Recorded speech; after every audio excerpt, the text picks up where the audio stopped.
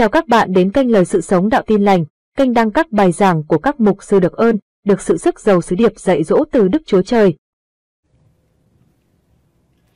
Trong những ngày qua anh chị em có có những giấc chiêm bao như chúng ta đã học và anh chị em có thấy có mức độ gia tăng của những giấc chiêm bao trong đời sống của mình không? My brothers and sisters, let me ask you, as we studied about dreams and visions, are you all having more dreams and visions in a greater level? Yes? No? Yes. Praise the Lord. Not yet. not it's yet. coming. Cảm ơn Chúa. Praise the Lord. Chúng ta tin rằng đây là những cái phước hạnh mà Chúa nghe dành cho chúng ta trong thời kỳ cuối rốt này. So we believe that these are a time of great blessing as the end times are, is here. Vì những giấc mơ là một trong những cách chúng ta có thể nhận được các ân tứ quyền năng của Chúa. Dreams and visions are one way that we can receive the gifts and the anointing, the leading of God. Chúng ta biết rằng chúng ta có thể nhận được sự sống và ân tứ tràn đầy của Đức Thánh Linh trong khi chúng ta ngủ không? Do you believe that you can receive life and guidance from the Holy Spirit even as you sleep? Chúng ta có thể nhận được từ nơi Chúa Thánh Linh. You can receive it from the Holy Spirit. Thật là dễ dàng và nó thực sự đã xảy ra rất là thường xuyên ở trong Kinh Thánh. It's actually quite easy and it happens very often as we're going to see in Scripture. Vì Chúa Cha biết rằng khi chúng ta đang ngủ, đó là thời điểm mà Chúa có thể um, thu hút sự chú ý của chúng ta một cách tốt nhất. Because our Father God knows that while we're sleeping, we have all of His attention. We're not distracted. Và Ngài cũng hứa rằng Ngài sẽ bày tỏ chính Ngài ở trong khải tượng và phán với chúng ta ở trong giấc mơ. And He has promised us that He is going to speak to us through dreams and visions.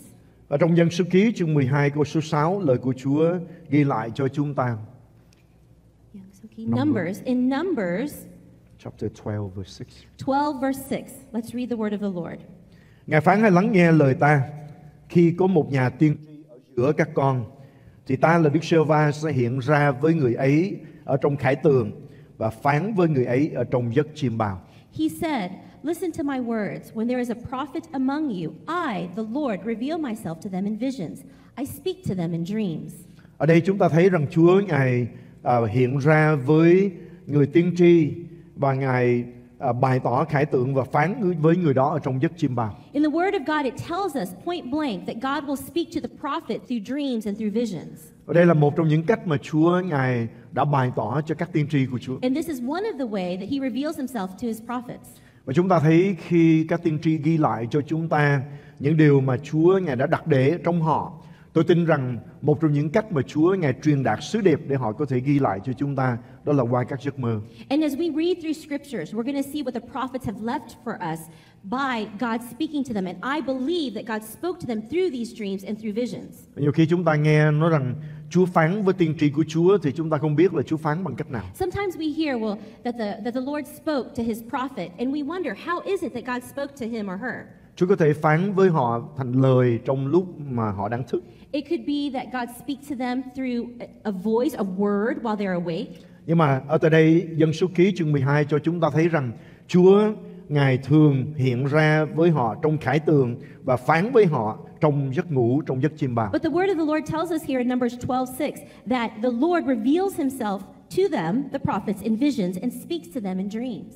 Và Ngài cũng tuyên bố rằng trong những ngày sau rốt này, Ngài sẽ đổ thánh linh của Ngài trên mọi loài xác thịt và chúng ta à, sẽ có những cái kết quả đó là chúng ta sẽ thấy khải tượng và chúng ta sẽ có chim bào. And the word of the Lord also tells us that in these last days, He's going to pour out His Spirit upon all mankind, and He's going to speak to them, giving them dreams and visions. Ở trong công vụ chương 2 câu số 17 cho chúng ta cái lời hứa đó. Let's look at Acts chapter Two. 2 17. Đức Chúa Trời phán trong những ngày cuối cùng ta sẽ đổ thánh linh ta trên mọi xác thịt. Con trai và con gái các ngươi sẽ nói tiên tri. Thanh niên sẽ thấy khải tượng và người già sẽ thấy chim bào. The word of the Lord says, Acts 2:17, in the last day, God says, I will pour out my spirit on all people. Your sons and your daughters will prophesy. Your young men will see visions. Your old men will dream dreams. Như vậy chúng ta thấy rằng lời của Chúa hứa Chúa Ngài đổ thánh linh của Ngài xuống thì một trong những điều mà chúng ta sẽ thấy xảy ra cùng một lúc đó là cái kết quả của việc Chúa đổ thánh linh của Ngài đó là khải tượng và chim bao sẽ thể hiện ra trong đời sống của những người được Chúa Ngài đổ thánh linh của Ngài trên. It's very clearly written for us here that the Lord, when He pours out His Spirit upon all of mankind, all of people, all of the people, that sons and daughters are going to prophesy, young men are going to see visions, and old men will dream dreams. Như vậy chúng ta thấy rằng đây là điều mà Chúa Ngài rất muốn thực hiện và Ngài đã báo trước và Ngài đã làm ứng nghiệm những lời tiên tri So này. we see here that this is something that God wants to do, and He wants to let us know in advance that He's going to do it. Chúng ta đã học qua những cái 20 giấc mơ mà thường thấy trong lúc chúng ta giúp đỡ để giải đi những cái điểm chim bao đó cho cá nhân của chúng ta và cho những người cần sự giúp đỡ của chúng Last ta. week we learned about the 20 common dreams that most people have, and we also talked about the symbolizations, what things mean in those dreams.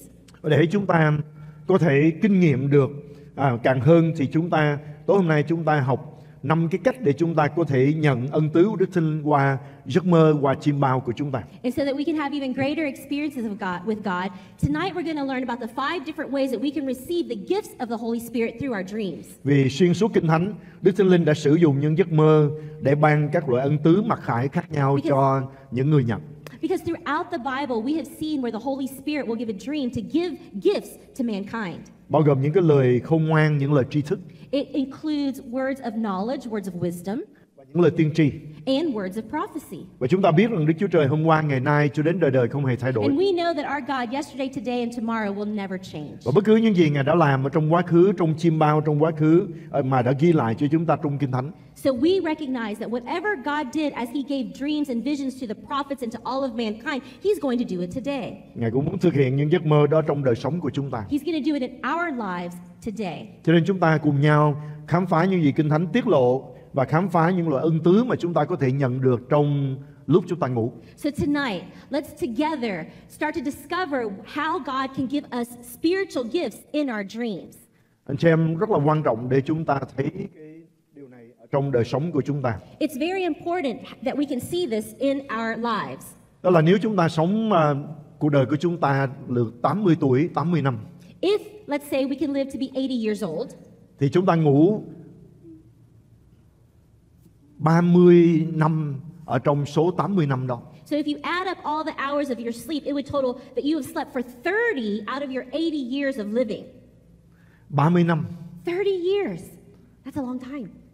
Cho nên Đức Chúa Trời Ngài có thể sử dụng cái thời gian đó trong 30 năm đó để dạy chúng ta và giúp đỡ chúng ta rất là nhiều điều trong lúc chúng ta đang ngủ. So, in that quote unquote 30 years of sleeping, God can teach us and talk to us in so many ways.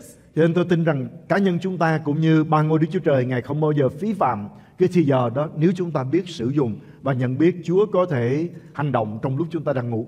And I believe that Father God, the Holy Spirit, and the Son of God, Jesus Christ, will take advantage of those 30 years of sleeping. Amen? Amen em.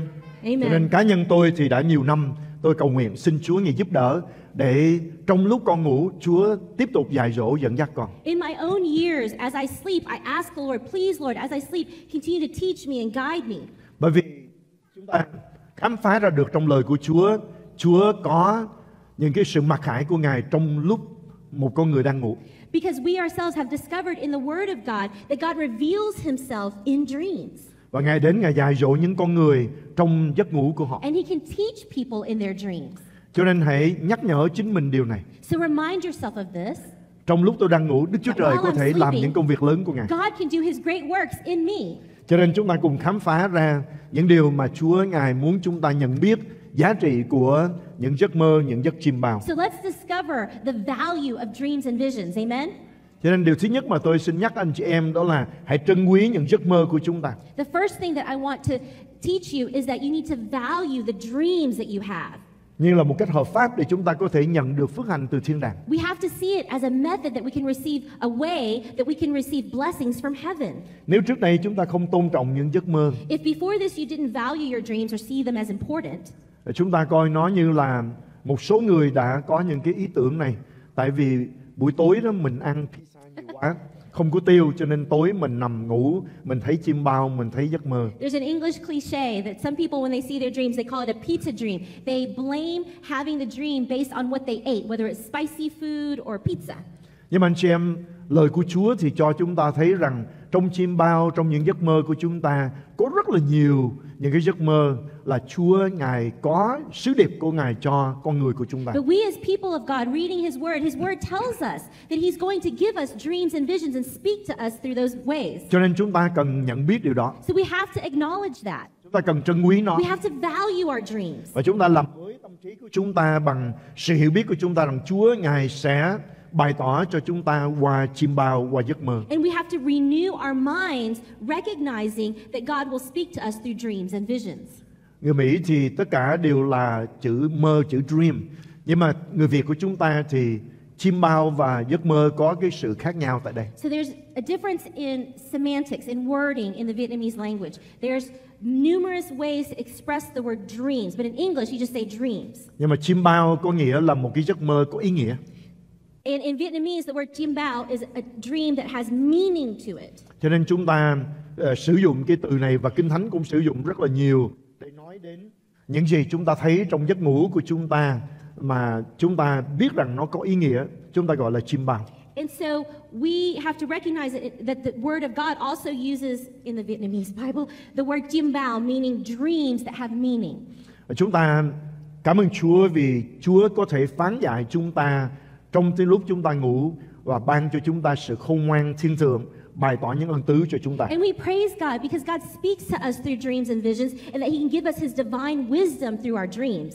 Ở đây cũng là một điều nữa chúng ta cần để ý đến và xin Chúa Ngài tha thứ cho và chúng ta xin Chúa Ngài ban phước trên chúng ta trở lại. And this is uh, something I'm about to mention is something that we have to ask God to forgive us for, and then ask Him to bless us again as we repent. Đó là hội thánh nhiều ngày có một cái lối dạy dỗ đó là để giúp đỡ cho chúng ta không có phạm tội ở trong tư tưởng của mình.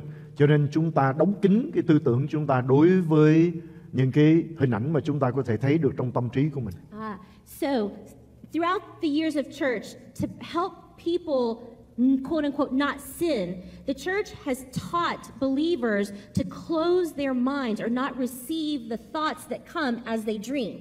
Cho nên tôi lấy cái thí dụ như thế này. So let me give you an example. Nếu anh chị em ngồi ở trong nhà thờ trong lúc này, So as let's say you're sitting in church right now, anh chị em có thể hình dung được cái phòng khách của mình tại đó cái bộ salon của mình màu gì và nó đang ở đâu không? you could be imagining about your living room and your couch, what it, the texture is, what the color is. Có bao nhiêu người thấy được liền là cái phòng khách của mình có How many of you can visualize your living room right now? nhưng mà có những người là họ không thấy được. But there are some people who cannot see it. Và nếu chúng ta đào sâu vào trong vấn đề chúng ta thấy rằng những người đó có thể đã bị dạy sai đó là mình không để cho cái óc tưởng tượng của mình cũng như là cái khả năng để thấy hiện thấy trong trí não của chúng ta chúng ta cần đóng kín nó để chúng ta không phạm tội về tư tưởng của chúng ta And if we investigate further, we'll probably discover that that person has been taught to close off their imagination, to close off that ability to think or conjure up a thought or an image bởi vì ngoài những cái điều mà chúng ta đã tự mà giới hạn chính mình đó hay là chúng ta đóng kín ờ, cái ngôn ngữ của giấc mơ và chim bao thì tất cả chúng ta đều có thể kinh nghiệm được chim bao trong đời sống của chúng ta. So, what I'm trying to tell you is, is unless you limit yourself purposefully to receive, to close off your imagination, close off that dreaming portion of your mind, then yes, you are meant to have dreams and visions by which God wants to speak to you. Bởi vì khi chúng ta nhắm mắt lại, chúng ta có thể hình dung được vấn đề. Because whenever you close your eyes, you can see or visualize the issue. Nếu chúng ta đọc Kinh Thánh mà chúng ta không thể hình dung được khung cảnh, ví dụ Chúa Giêsu đang giảng bài giảng của Ngài, bài giảng trên núi của Ngài. So let's say, for example, you're reading scripture and it's talking about Jesus preaching on the mount, the mount, and you can't visualize that happening. Thì chúng ta phải hình dung được Chúa Ngài đang ngồi trên triền núi và Ngài đang giảng cho ít nhất là 5.000 người có mặt ở tại đó để nghe bài giảng của Chúa. Because as you're reading scripture, that portion, you should be able to visualize Jesus sitting on a mountaintop preaching to like 5,000 people and see those people there. Và chúng ta cũng có thể hình dung được Đức Chúa Giêsu trên những cái à, bước đường Ngài đang đi cũng như là Ngài đang dạy cũng như những phép lạ mà Ngài làm. And as you read the scriptures, you should be able to envision Jesus maybe walking along a road or teaching the people. Và anh chị em đó là một trong những cái phước hạnh mà Chúa ngài ban cho à, các cái à, văn hóa những cái nhóm người mà họ không có chữ viết, họ chỉ là những người gọi là oral learner, những người chỉ học được qua tiếng nói cũng như chữ nghĩa. So you see, that ability to visualize a story is actually a blessing from God, especially for those people who cannot read. That they become, they are actually oral learners. They learn by hearing, then they visualize it. Và chúng ta thấy văn hóa của à, Tây phương cũng như là ảnh hưởng bởi Hy Lạp thì người ta bắt đầu lệ thuộc vào chữ viết Western world. Uh, the Western world, you see, was influenced, even as the Hebrews were influenced by the writing. Mình chúng ta biết rằng trước khi mà có cái chữ viết đó thì con người chúng ta học qua những cái câu chuyện kể mà để có thể nhận được những câu chuyện kể đó người ta phải hình dung được câu chuyện đó. Yes, and so before there were letters and words, the written word, there were images, and people had to imagine it. Cho nên nếu chúng ta bị giới hạn không thể thấy được chim bao cũng như chúng ta không thể nhắm mắt lại chúng ta cầu nguyện chúng ta không thể thấy được điều gì hết chúng ta cần có một sự bứt phá ở trong tâm trí của chúng ta So, what I want to share with you tonight on this point is if you do not have the ability to visualize or imagine a story, or as you pray and you close your eyes, you're unable to visualize what you're praying for, there needs to be a breakthrough that has to happen in your life. Để bày tỏ cái thái độ chúng ta trân quý những cái giấc chim bao trong đời sống của chúng ta. To show that you value the dreams and visions in your life, một trong những điều chúng ta cần làm là chúng ta trở lại để chúng ta học những phần kinh thánh nói đến việc Chúa ngài có thăm viếng chúng ta và phán dạy chúng ta trong giấc ngủ. I encourage you to go back through Scripture and start to restudy those areas in Scriptures that talk about Jesus Christ coming and speaking to people, or God talking to people through dreams and visions. như ở trong nhã ca chương 5 câu số 2 Song of Solomon As, as in Song of Solomon, chapter 2, verse Chapter 2. five, verse chapter 5, verse 2. Lời của Chúa nói rằng tôi ngủ nhưng lòng tôi tỉnh thức. So the word of God says, Song of Solomon, chapter 5, verse 2, I slept, but my heart was awake. Và ở trong Thi Thiên 17 câu số 3 nói Chúa đã dò xét lòng con, viếng con lúc ban đêm. And in Psalm 17:3, the word says, "Though you probe my heart, though you examine me at night and test me." Chúa Ngài có thăm viếng, Ngài có đến với chúng ta trong giấc ngủ. So you see in the word of God that God comes to us in our sleep. Và trong Thi Thiên 16 câu số 7 And in Psalm 16, 17, Con sẽ chúc tụng Đức Sơ Va đấng khuyên bảo con Ngay cả trong ban đêm lương tâm con cũng nhắc nhở con Psalm 16, 7, not 17, 16, 7, I will praise the Lord who counsels me. Even at night, my heart instructs me. Như vậy các câu kinh thánh để cho chúng ta thấy rằng Chúa có hành động và làm việc trong đêm ngủ của chúng ta. So all of these Bible verses share with us that God comes to us at night as we're sleeping and he works in us. Như vậy chúng ta cần mở lòng ra và nói rằng Chúa có thể thăm viếng chúng ta ở trong giấc ngủ. So we have to open up our hearts and receive that knowledge that God can come and speak to us in our sleep. Thay vì chúng ta phủi và nói ô mấy cái mộng mị đó, những cái giấc mơ đó là những cái điều không có giá trị là rác rến. Chúng ta đón nhận và chúng ta rằng có thể đây là tiếng phán của Chúa cho đời sống của chúng ta. Instead of dismissing the fact that these dreams could be God speaking to you and just saying, oh, it's a pizza dream or it doesn't have any value, I encourage you to value every dream that you have. Điều thứ nhì đó là hãy cầu xin Đức Thánh Linh ban cho bạn sự mặc khải và các ân tứ của Ngài trong khi bạn ngủ. And the second thing that I want to teach you tonight is to ask God, ask the Holy Spirit to bless you with visions and gifts as you're sleeping. Trân quý không không đủ mà chúng ta cần phải xin Chúa. So I'm telling you that valuing the dream is not enough. You have to ask for things. Gia cơ chương 4 câu số 2 dạy cho chúng ta một cái nguyên tắc đó là chúng ta không có bởi vì chúng ta không cầu xin. The word of God in James chapter 4 verse 2 tells us that we have not because we ask not. Cho nên chúng ta cầu xin và cầu xin một cách chính xác. So why don't we ask and ask specifically? Cho nên chúng ta cần phải có chủ ý và cụ thể khi chúng ta xin Chúa. So we have to have focus as we're asking God for something. Chúng ta thấy cái nguyên tắc này được thể hiện một cách rất là rõ ràng trong cuộc đời của vua Salomon. We see this very clearly in King Solomon's life. Hầu hết chúng ta đều công nhận rằng cái sự khôn ngoan của Salomon là sự khôn ngoan có tính cách huyền thoại đó. Nó là legendary, nó là rất là đặc biệt cái sự khôn ngoan lạ lùng này. I'm so glad he translated Wing Thai. King Solomon, we all have to acknowledge that he had this legendary kind of wisdom. Và chúng ta biết rằng Chúa đã ban cho ông cái sự ban cho này lúc nào. But do we, as you read scripture, do you recognize exactly when God gave him this legendary wisdom? Chúa ngài ban cho ông ở trong giấc chim bao. He gave it to him in a dream.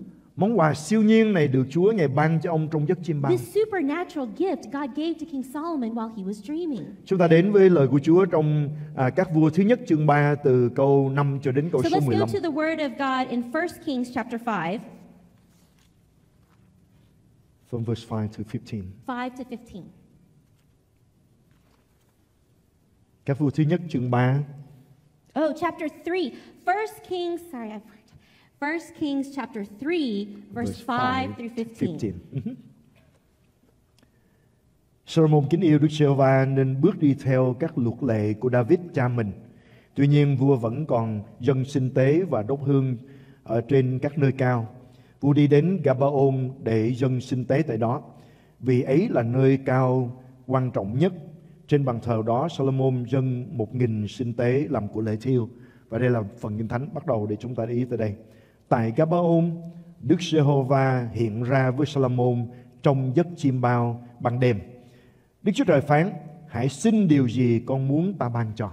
Okay, we're going to start in verse 3. Solomon showed his love for the Lord by walking according to the instructions given him by his father David, except that he offered sacrifices and burned incense on the high places. The king went to Gibeon to offer sacrifices, for that was the most important high place. And Solomon offered a thousand burnt offerings on that altar. Let's look at verse 5. At Gibeon, the Lord appeared to Solomon during the night in a dream, and God said, Ask for whatever you want me to give you. Chúa đã bày tỏ lòng nhân từ lớn lao đối với đầy tớ của Ngài là David thân phụ con như người đã bước đi trước mặt Ngài trong sự trung tín, công chính và tấm lòng ngay thẳng. Chúa lại tiếp tục bày tỏ lòng nhân từ lớn lao ấy cho người khi ban cho người một con trai ngồi trên ngai của người như đã có ngày này. Let's look at verse 6. Solomon answered the Lord, You have shown great kindness to your servant, my father David, because he was faithful to you and righteous and upright in heart. You have continued this great kindness to him and have given him a son to sit on his throne this very day.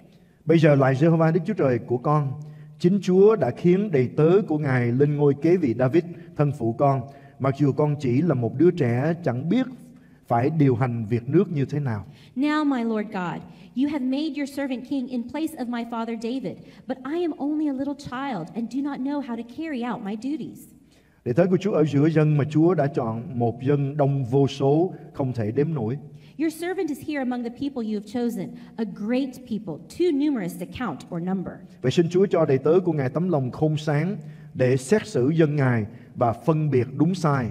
Vì ai có thể xét xử đoàn dân đông đảo này của Chúa? Verse 9 So give your servant a discerning heart to govern your people and to distinguish between right and wrong. For who is able to govern this great people of yours? Chúa hài lòng vì Solomon đã xin điều này. The Lord was pleased that Solomon had asked for this. Đức Chúa Trời phán với vua vì con đã xin điều này mà không xin cho con được sống lâu hay là giàu có, cũng không xin mạng sống của kẻ thù con, nhưng xin sự khôn sáng để xét xử thích đáng. The Lord was pleased that Solomon had asked for this. So God said to him, Since you have asked for this and not for long life or wealth for yourself, nor have you asked for the death of your enemies, but for discernment and administering justice. Nên ta sẽ làm theo điều con xin, ta ban cho con tấm lòng khôn ngoan thông sáng, đến nỗi trước con không ai bằng và sau con cũng không ai sánh kịp. I will do what you have asked. I will give you a wise and discerning heart, so that there will never have been anyone like you, nor will there ever be. Hơn nữa, ta sẽ ban cho con những điều con không xin, tức là sự giàu có và danh vọng đến nỗi trọn đời con, không ai trong các vua được như con. Moreover, I will give you what you have not asked for, both wealth and honor, so that in your lifetime you will have no equal among kings. Nếu con bước đi trong đường lối của ta, tuân giữ các điều răn và mệnh lệnh của ta, như cha của con là David đã bước đi, thì ta sẽ cho con được sống lâu.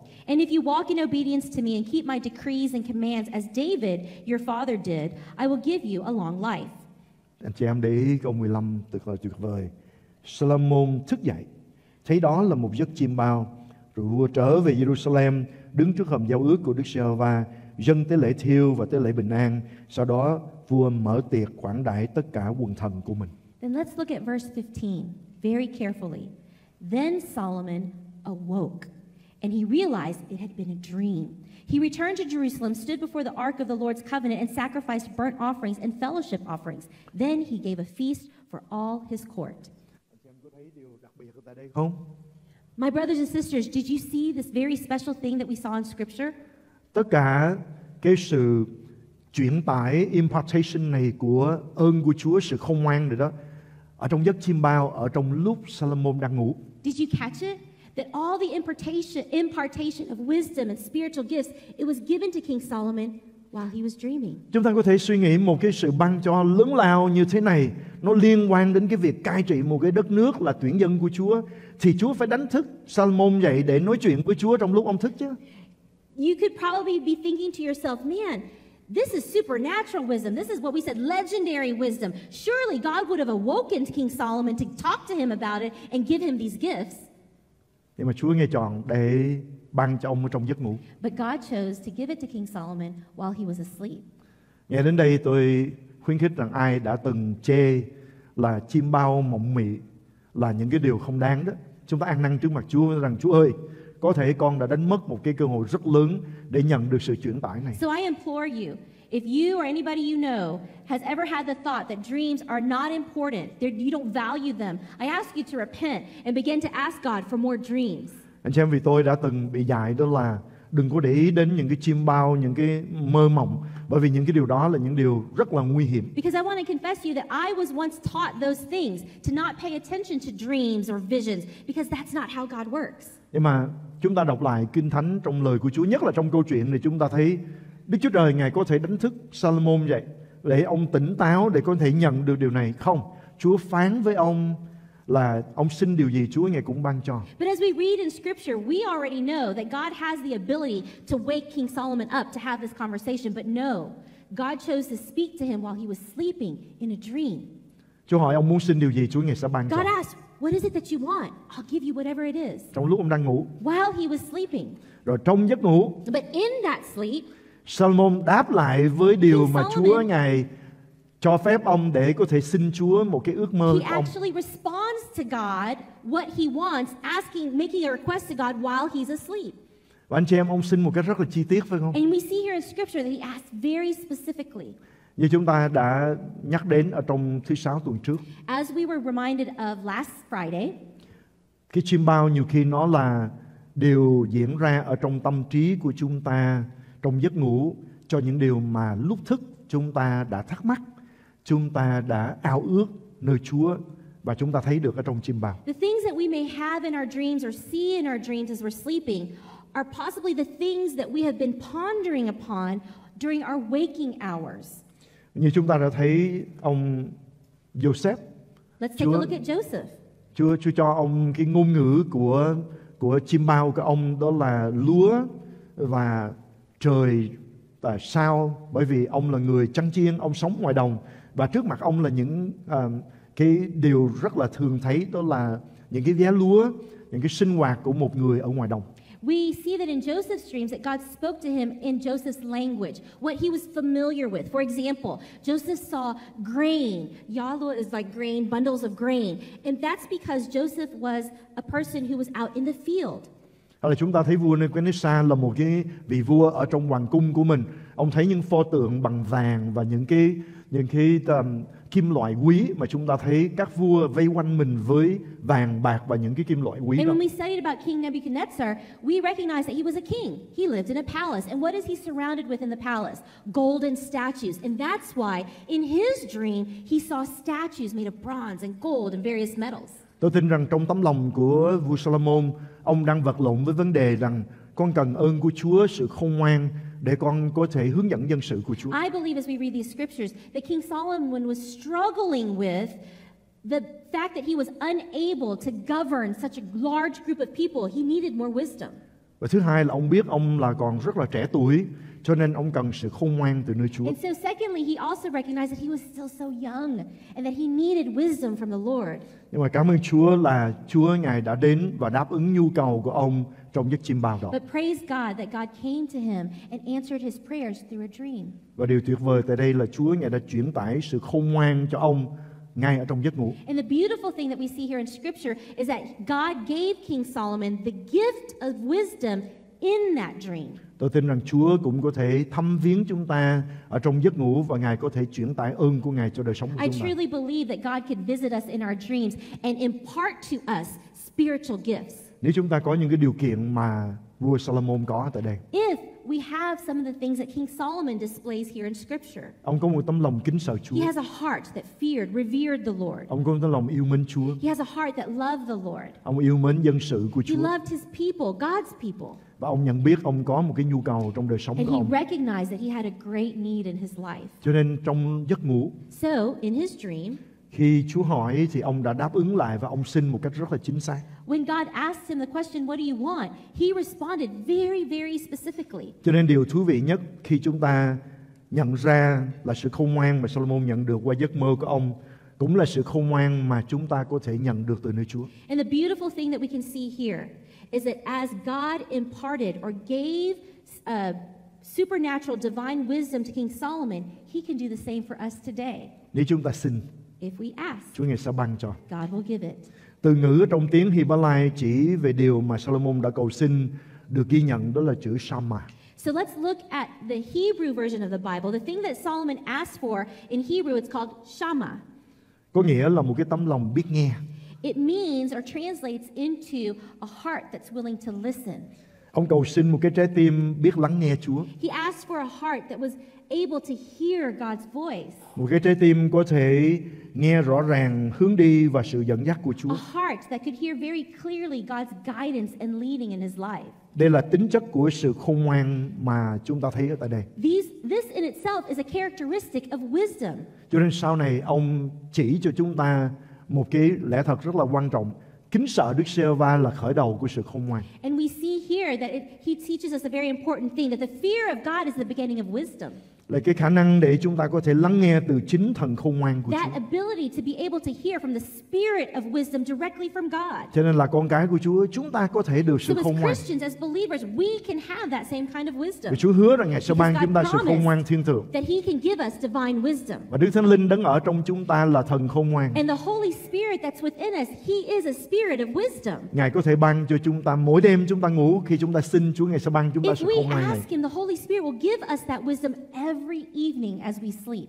Anh chị em có muốn có sự khôn ngoan như Chúa đã cho Solomon không? Do you want to have the wisdom that God gave King Solomon? Hãy trân quý chim bao và dám xin So điều mà Chúa Ngài ban cho. dreams and dare to ask. Anh chị em khi tôi hiểu điều này tôi ăn năn nhiều lắm trước mặt Chúa. My brothers and sisters, when I started to understand this, I had to repent before God. Vì ngày xưa đọc thì chỉ nghe hay là nghe giảng về Chúa Ngài ban cho vua Solomon sự khôn ngoan khôn hơn những người trước ông và sau ông. So in the past, as I would read this scripture, I just kind of read it as that God would give King Solomon wisdom, any wisdom greater than those who went before him or those that came after. Nhưng mà bởi vì không có trân quý cái việc Chúa có thể phán dạy thăm viếng chúng ta vào ban đêm qua chim bao. But because I didn't value that God could visit us and give us something in our dreams, Thì tôi không thấy rằng tất cả những điều này diễn ra trong giấc mơ. I never saw in scripture that all this happened while King Solomon was asleep. It happened while he was dreaming. Tôi tin rằng anh chị em cũng đã từng đọc qua phần kinh thánh này. I also believe that you've read this through scripture. Me too. Nhưng mà không có tấm lòng chúng ta để ý đến rằng ông có thể nhận được ở trong chim bao thì chúng ta cũng có thể nhận được từ nơi Chúa. But we probably never saw that Solomon received this through a dream. And now that we know this, we know that we can receive the same in a dream. Cho nên tôi khuyến khích anh chị em trân quý và xin một cách chính So xác. I encourage you to value dreams, treasure them, and ask God specifically for what you want. Phải Đức Thánh Linh xin ban cho con sự khôn ngoan, thần khôn ngoan trong giấc ngủ của con nữa. Holy Spirit, give me wisdom. Give me the spirit of wisdom even as I sleep. Amen anh chị em. Amen, my brothers and sisters. Xin rồi chúng ta sẽ được. Ask and you will receive. Vì Chúa Giêsu hứa với chúng ta điều đó. Because Jesus Christ promised us Hãy this. xin thì sẽ, What does the word Được. of God say? If you ask, you shall tìm receive. thì sẽ, If you gặp, seek, gõ you cửa will thì sẽ. find. If mở ra cho knock, chúng ta. it shall be answered. Cảm ơn Chúa. Praise the Lord. Bây giờ chúng ta thấy rằng Chúa có thể ban cho chúng ta ân tứ của sự khôn ngoan và tri thức tại đây. Cho nên hãy xin. So, we've studied this.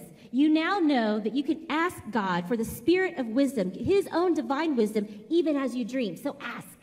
Mà điều này cũng dạy chúng ta một cái lẽ thật khác rất là quan trọng. So, but this also teaches us another very important truth. Ông xin cái điều làm Chúa đẹp lòng. He asked for something that pleased the Lord's heart. Cho nên ông được Chúa ban cho điều đó. So God gave it to him. Rồi Chúa còn nói rằng bonus, ta sẽ cho con hơn những điều con không xin nữa. And because what he asked pleased God so much, he said, Hey, I'm going to give you a little bit more. I'm going to give you what you didn't ask for. The bonus. Anh chị em, đây là cái phước hạnh mà chúng ta có thể thấy được ở tại This đây. is the blessing that we can see in this piece of scripture. Chúng ta cần có cái tấm lòng kính sợ Chúa yêu mến Ngài We have to have a heart that fears God and loves him để chúng ta không muốn xin bậy. So that, or, bite, um, you don't Wrong. ask foolishly. Dạ. Bởi vì Chúa nói rằng ngươi không xin mạng sống của kẻ thù của ngươi Because the Lord tells him, You didn't ask for the life of your enemies hay là sự giàu có. or for riches. Anh chị em có thể là chúng ta ban ngày chúng ta nghĩ nhiều cho nên chúng ta nằm mơ đã thấy ai đó bị Chúa ngày trừng phạt đó Là bởi vì chúng ta suy nghĩ về điều đó nhiều ở trong ngày phải không? Oh my my. It's very possible that you might have some bitterness in your heart. You're angry at somebody, you've been thinking about it, chewing on it all day. And that's why at night you have dreams of that person. Nhưng mà trong giấc mơ mà chúng ta vẫn có thể xin đúng là bởi vì điều đó nó nằm ở trong tấm lòng của chúng ta. But in a dream, we see King Solomon was able to ask for the right things, the things that pleased God's heart. Because during the day, he had a heart that was conditioned for, for the Lord. Và điều thứ ba là chúng ta hãy tin rằng Chúa có thể đang phán dạy chúng ta qua những giấc chiêm bao của chúng ta. And the third thing that we need to learn tonight is that God can speak to us through dreams. Đây là một trong những cái ngộ nhận của chúng ta. It's a mistake. This is a mistake, ngộ nhận. Bởi chúng ta nghĩ rằng những cái giấc mơ của chúng ta không giống những giấc mơ trong Kinh Thánh. So sometimes we start to think, oh, the dreams that we're having are not like the dreams that have happened in the Bible. Cho nên giấc mơ chúng ta là những cái giấc mơ điên rồ, những cái giấc mơ So vô we lý. kind of dismiss our dreams, saying that they're either pizza dreams or crazy dreams. Vậy. But truly, it's not that way. Điều có vẻ nực cười thật ra là một cái sự tiết lộ từ nơi Chúa. I so didn't hear a word you said. Ridiculous. I didn't hear the whole sentence. I'm sorry. What is the ridiculous to us? Yes. It can be a revelation from God. Hallelujah. Những gì có vẻ ngớ ngẩn thật ra nó là điều rất là thiêng liêng. So some things that we think can be lalang can be very divine. Yeah. What is lalang in English? Ngớ ngẩn. Ngung. I know what it means. I just don't know the English word for it. Uh, silly. Silly. Oh, thank you, thank you. Silly, silly can be divine. Nhưng mà khi chúng ta hiểu rằng nó là biểu tượng, vì tuần rồi chúng ta đã được nhắc nhở giấc mơ là những cái biểu tượng được Chúa sử dụng để bày tỏ ý của Ngài cho chúng ta. So as we learned last week, we know that dreams are a method, a way that God can speak to us, Through image. an image, through images. Và điều tốt nhất là Chúa có thể phán với chúng ta qua đủ mọi thứ giấc mơ. And we, the great thing is that God can speak to us through all kinds of dreams. Và nhiều khi đối với chúng ta nó như là vô nghĩa đó. And sometimes we think that it has no meaning, Nhưng mà Chúa ghi lại trong Kinh Thánh. but the Lord writes for us in Scripture. Thí dụ, For example, ở trong ờ, giấc mơ của Joseph, in Joseph's dream, ông nhìn thấy những cái bó lúa cúi đầu xuống ở trước he ông. saw some bundles of grain bowing down before him. Nếu mà chúng ta thấy như vậy, chúng ta nói cái mơ gì mà kỳ lạ như vậy. like that, wouldn't you think, what a weird dream? Những cái bó lúa nó cúi xuống ở trước mình. How is it that bundles of grain could bow before me? Hay là mặt trời, mặt trăng và các ngôi sao cúi xuống trước ngôi sao của ông. Or that the sun and the moon and even the stars would bow down in Chúng ta không biết ngôi sao nó cúi xuống như thế nào How is it that that could happen? So we end up dismissing the dream.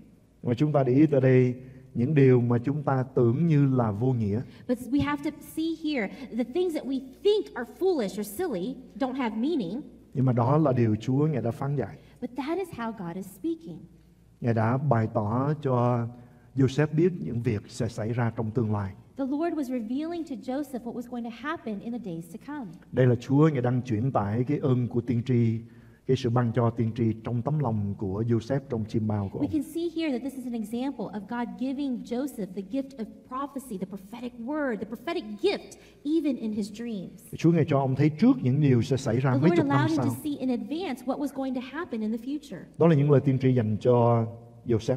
That was the prophecy that was reserved for Joseph. Chúng ta có thể nói là một cái giấc chim bao.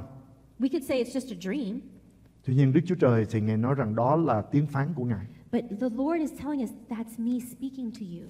Anh chị em cùng mở với tôi trong Thi Thiên 105 câu số 19. My brothers and sisters, would you open up your Bibles with me to Psalm 105, Verse 19. verse 19? Lời của Chúa nói rằng cho đến khi điều ông nói trở thành sự thật, lời của Đức Giê-hô-va đã minh chứng cho ông. The word of the Lord says, Psalm 105, verse 19, till what he foretold came to pass, till the word of the Lord proved him true. Cái giấc mơ mà Joseph thấy The dream that Joseph had, nó trở nên ứng nghiệm. it came to pass. Thì lời của Chúa nói với chúng ta rằng đó là lời của Đức Giê-hô-va đã minh chứng cho ông. And see, that's the word of God telling us that God is proving himself to be true. Tôi muốn anh chị em thấy cái điều này đó là những điều chúng ta nghĩ rằng ô nó chỉ là một cái giấc chim bao, nó chỉ là một giấc mơ. What I want to point out to you here, my brothers and sisters, is a dream that you're having. You think it's just a dream, Nhưng mà nó có thể là lời của Đức Giê-hô-va phán với chúng ta. it could very possibly be the God speaking to you. Ở đây là lời tiên tri mà Joseph đã nhận được trong chim bao. We see this is a prophecy that Joseph received in his dream. Amen anh chị em. Amen, my brothers and sisters. Cho nên một lần nữa đừng chê chim bao hay là giấc mơ nó rằng tôi ngủ tôi thấy cái gì nó bậy bạ lắm mùa xưa nó không có ý nghĩa gì hết. So, again, I implore you do not dismiss these dreams that you're having, the images that you see, and tell me that, oh, Pastor, it's just a weird dream. Nhưng mà điều này nó tôi tin rằng đã giúp đỡ cho Joseph suốt cuộc đời của ông. But I believe that the dream that Joseph received blessed him, encouraged him, helped him for the rest of his life. Tôi có một sứ điệp mà tôi chia sẻ đó là nhưng but Oh, I was waiting for more words. Um, I have a sermon that I'm going to preach. The title of it is one word, but. các anh ghen ghét Joseph nhưng Đức Chúa Trời ngài đã bảo vệ và cất nhắc ông. The brothers hated Joseph, but God loved him. Ông Joseph có thể ông thấy ngay trước mắt của mình là mình bị bán làm nô lệ. Joseph could see that in his own life that he was sold into slavery.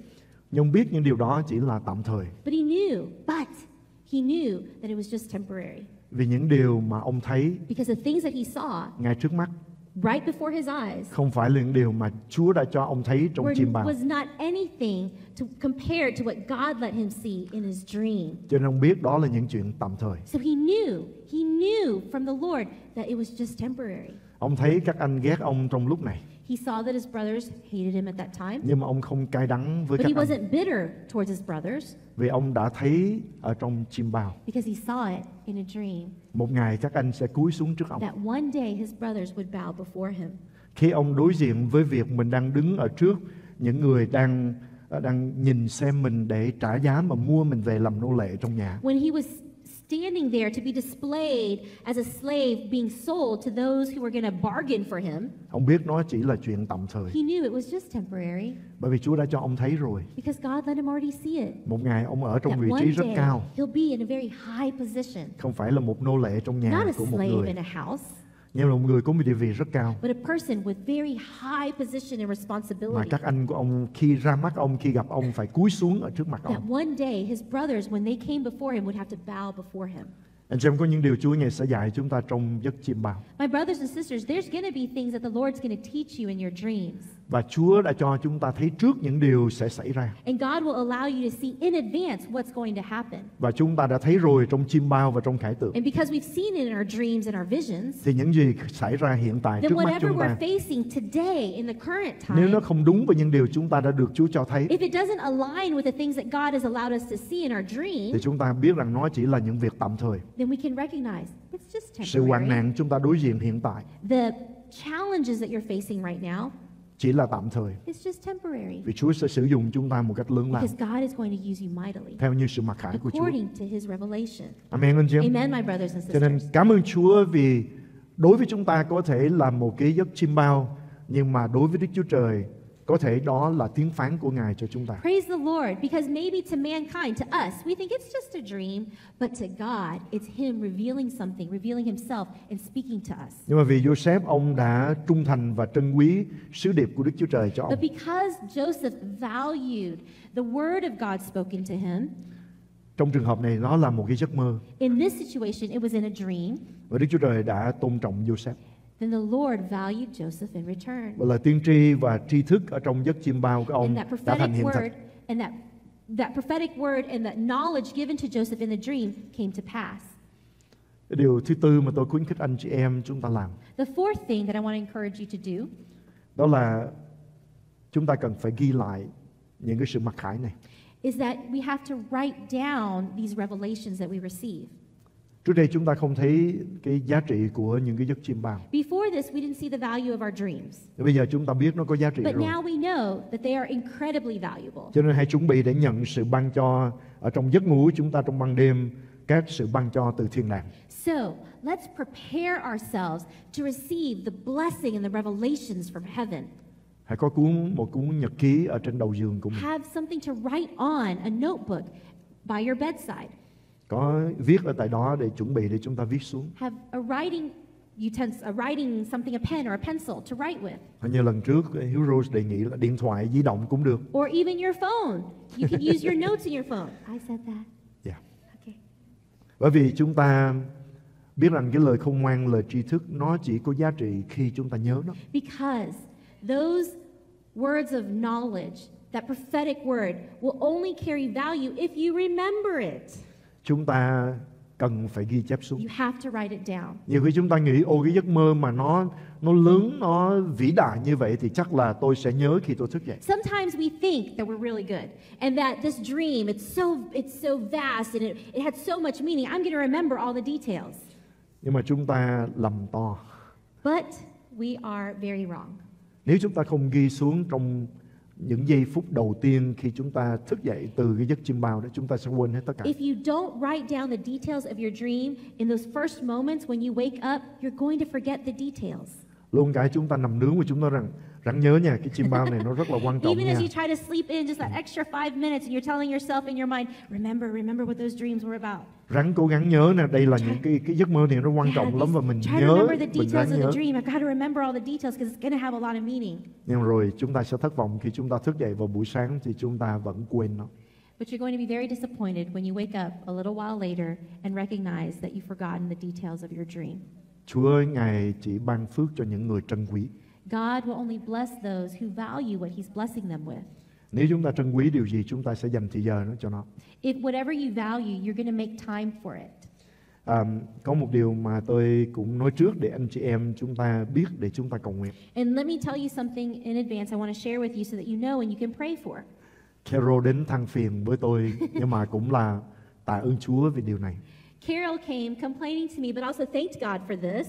Carol nói rằng cảm ơn mục sư và mục sư Sam đã cầu nguyện cho tôi. Carol came to me and said, You know, thank you, Pastor and Pastor Sam, for praying for me. Tôi đã nằm mơ và thấy rất là nhiều giấc chim bao As I was sleeping, I've seen a lot of dreams. và tôi ngồi dậy tôi ghi nhận. And I would sit up and I would start to write them down. Cho nên bây giờ có một cái khó khăn là bị bệnh mất ngủ. And so now I have the problem is that I have a little bit of insomnia. I don't sleep through the night. Thì tôi à, chỉ cho điều mà tôi à, thường làm đó là cầu nguyện xin Chúa Ngài làm cho mình được tươi mới dù cái giờ ngủ của mình nó ít mà Chúa Ngài vẫn cho mình có thể được sảng khoái và Chúa ban phước cho. And so I gave to Carol something that I've learned in my own life, and that is, is that you can pray and ask God, God, give me your supernatural strength, even though I didn't get a full night's sleep. Bởi vì tôi nhớ lại câu chuyện của Môi-se. Because I started to remember back to Moses' life. Ông lên trên núi gặp Chúa He came up to the mountain to meet God. 40 ngày 40 đêm 40 days, 40 nights. không ăn không uống He would not eat, he would chắc not chắn là drink. không có ngủ Surely he wasn't sleeping. nhưng mà xuống thì chúng ta thấy Môi-se mắt không có But what quần does the thâm word mặt of của the ông Lord là tell người us? thiếu ngủ You know, when he came down from the mountain to see the people, it's not like he had bags under his eyes and nhưng mà ông kinh thánh ghi lại chúng ta mặt ông sáng rực but the Bible tells us that his face was glowing bởi vì sự vinh quang của Chúa because động lại trên ông. Um, tôi đã nói nhiều lần và tôi xin nhắc với anh chị em đó là told times. Trong những cuộc phấn hưng revival, con cái của Chúa nhiều khi là cả 3 năm họ ngủ không có nhiều nhưng mà họ vẫn khỏe mạnh và không có một ai bệnh tật với the children of God, the believers who are there in that revival, it could be three years where they're not really sleeping a whole lot, but God strengthens them. Và lịch sử của phục hưng đã ghi lại cho chúng ta điều đó. And the history of revival writes this down for us, documents it. Và chúng ta cũng cảm nhận điều đó khi chúng ta được ở trong sự hiện diện của Chúa, trong buổi nhóm đại ơn của Ngài. Tự nhiên chúng ta thấy người chúng ta nó khỏe, thân thể chúng ta được sảng khoái. And we have experienced this here too. That when we're able to be in the manifest presence of God, no matter how many hours of sleep or how long we've worked, we can receive a refreshing in the Lord's presence. Chúa có thể ban phước trên chúng ta và chúng ta trở lại ngủ thì chúng ta ngủ thật sâu và lại thấy những giấc mơ khác. God can bless us so that when you go back to sleep after writing down your dream, you can go into a deep sleep. Có điều này tôi khuyến khích anh chị em. There's something I want to encourage you. Chúa nghe nhắc nhở tôi điều này. God reminded me of this. Đó là nếu Đức Chúa Trời Ngài cho phép ghi lại những điều trong Kinh Thánh That is, if God allowed for certain things to be written down in Scripture for us, thì điều đó trước mắt Chúa là điều rất là quan trọng. then we have to recognize that before God, it must be very important. Cho nên thường khi tôi đọc một cái điều gì đó mà Chúa cho ghi lại trong Kinh Thánh So, whenever I'm reading the Word of God that God allowed to be written down for me to read, thì tôi liền cảm ơn Chúa Thánh Linh then I begin to thank the Holy vì Spirit. Ngài là đấng đã giúp cho các trước giả ghi lại lời của Đức Chúa Trời Because He is the one who helped all the authors way back in history write these things và down. Đức Thánh Linh phải nhấn mạnh cái điều gì đó để họ viết lại And cho the chúng Holy ta. Spirit had to emphasize something in order for them to write it down. Nếu Chúa coi những giấc mơ đủ quan trọng để đưa vào Kinh Thánh If God deemed dreams to be important enough to be left and written in Scripture for us, thì những giấc mơ của chúng ta cũng quan trọng để chúng ta viết xuống. then our dreams are just as important to write down. Rất là đơn giản khi chúng ta hiểu những cái giấc mơ nó là biểu tượng thì chúng ta sẽ thấy rằng mình cứ viết xuống. Bây giờ mình chưa hiểu nhưng mà rồi mình sẽ hiểu. It's very simple.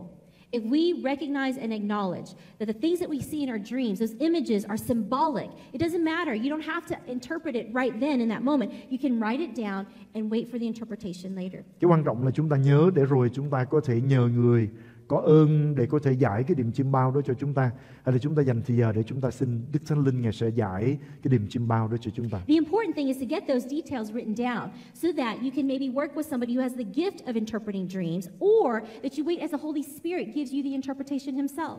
Vì trừ trường hợp chúng ta là vua Nebuchadnezzar So unless you are King Nebuchadnezzar kêu tất cả những người khôn ngoan trong xứ đến. tối hôm qua trẫm đã ngủ và thấy một cái giấc mơ. And nhưng mà bây giờ trẫm quên hết rồi. that I, the king, had a really great dream last night, but I've forgotten all the details. giờ các ngươi phải giải cái niềm chim bao đó là cái giấc mơ đó cho ta. And so now you have to tell me the details of my dream and interpret them. còn không là ta giết hết tất cả. Otherwise, chúng ta không có được cái ờ, cái quyền hành như vậy cho nên chúng ta hãy nhắc nhở chính mình và chuẩn bị để chúng ta ghi chép xuống we don't have that kind of authority like King Nebuchadnezzar. No. So we have to write down the details of our dreams. và anh em trong lúc chúng ta ghi xuống đó And as you write them down, đối với cá nhân của tôi thì thường là Chúa ngài cho cái sự thông giải luôn trong lúc chúng ta viết xuống that in my own life, usually God gives me the interpretation as I'm writing it down. bởi vì trong lúc chúng ta nhớ lại và chúng ta viết xuống đó thì Đức Thánh Linh ngài có thể chỉ dạy cho chúng ta thêm những chi tiết và chúng ta hiểu được điều mà mình đã thấy Because as we are writing down everything that we remember, the Holy Spirit can work as we're going through the details and give us the interpretation, the meaning of it. Điều thứ năm đó là hãy hành động theo sứ điệp và chim bao mà chúng ta đã thấy để biến nó thành hiện thực. So, the last thing I want to say, point number five, is that operate according to the message that you've been given in your dreams so that they can come to pass. Đúng tuần rồi tôi có nhắc với anh chị em là chúng ta không có quyết định những quyết định lớn trong cuộc đời chúng ta chỉ vì một giấc chim bao. Okay, I want to remind you, last week I taught you, you're not making these grander decisions based off the dreams that you have. Nhưng mà sau khi chúng ta so sánh lại với lời của Đức Chúa Trời, But after you put it up against the Word of God, your dream, chúng ta cầu nguyện and you pray, và chúng ta xin Đức Thánh Linh ngài cho chúng ta giải nghĩa được cái giấc chim bao đó and you ask the Holy Spirit to give you the interpretation or the meaning of your dream. và có thể chúng ta chia sẻ với một người trưởng thành và người đó ở, trưởng thành ở trong Chúa và người đó cũng chia sẻ với chúng ta điều họ nghĩ về cái giấc mơ đó. Or you take the opportunity to share it with a mature believer, a mature believer, and they can begin to help you understand the meaning of your dream. và chúng ta cũng có thể nghiên cứu thêm những cái ý nghĩa của những cái biểu tượng này nó là như thế nào And you can even begin to study more, investigate, and see what's been um, left in booklets. There's studies out there that will help you understand what the symbol, symbolic meaning of these images are. một khi chúng ta được xác nhận rằng đây đến từ Chúa And once you can confirm or affirm in your spirit that this is from God, thì chúng ta phải hành động then you can take action. Chúng ta xem một cái câu chuyện mà chúng ta sẽ thấy nó nói lên những điều mà chúng ta đã nhắc đến trong buổi tối hôm nay. Let's look at a story that speaks to some of the things that we've talked about tonight. Chúng ta mở trong các quan sát chương 7, Let's look in Book of Church. the book of Judges, chapter 7. Chúng ta biết rằng dân sự của Chúa đối diện với một đạo quân rất lớn những We người know that the Madian. people of God were facing a very large enemy, the Midianites.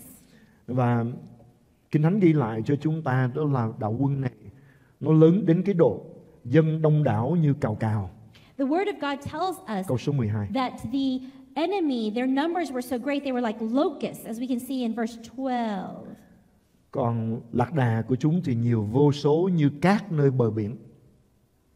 And their camels could no, could no more be counted than the sand on the seashore. That's verse 12 of Judges 7.